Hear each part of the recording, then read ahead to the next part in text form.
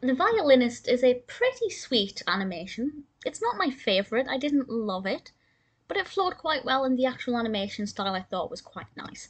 This was released in 1959, directed by Ernest Pintoff, and stars Carl Reiner as our narrator. This was nominated for the Academy Award for Best Animated Short. Had it won, I would have been quite surprised. It's not, you know, it, it didn't leave a massively strong, lasting impression on me. But I thought it was quite sweet. It's about this individual called Harry. He is a viol violinist and he's playing the violin and he's playing it to different people. And to be honest, I thought the playing was quite good. I'm not an expert, but I thought it was quite decent. But the people he plays it to are all saying that it sounds terrible, it's awful, he's playing without any feeling or emotion. And he has to learn to change the way he plays. And I think that that's quite sweet. Um, but I also didn't think he wasn't playing with emotion. But again, I'm not an expert. You know, I look at somebody playing the violin, I assume there's emotion in it because you're playing the violin.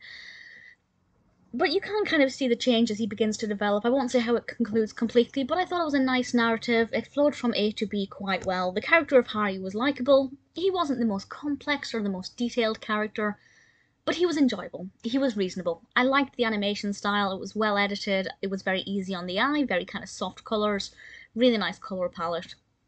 Not the most detailed animation. It's not overly complicated. I personally don't think there's too much in it to analyze, which is fine. That's absolutely fine. That's not a flaw with the animation itself. A lot of great cartoons are there to just be enjoyed with maybe a little lesson. They don't need to be massively complicated, especially when they're only 8 minutes in length. I think there are some animations that try too hard. This is not one of them, and I mean that as a compliment.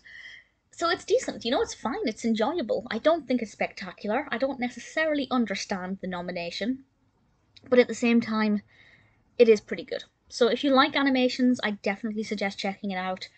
It's not the most fabulous thing I've ever seen, but The Violinist was pretty enjoyable.